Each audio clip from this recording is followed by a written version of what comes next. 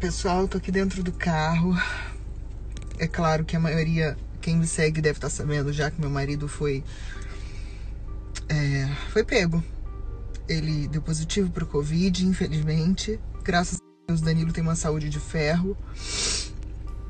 É um homem forte, tem uma imunidade forte, mas deu positivo. Eu estou negativa. Acabei de fazer o exame. Felizmente eu não estou com problema. Tá aqui, ó, não reagente. Mas vou fazer o PCR, que é um exame mais profundo. Vou ficar afastada é, por alguns dias aqui das gravações até sair o resultado desse exame. Mas eu não estou com problema. Felizmente não estou.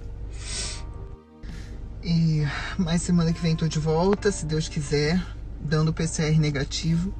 E vai dar porque deu o teste rápido meu deu negativo. A pior parte é claro ficar longe dele, não poder cuidar do marido, não poder vê-lo.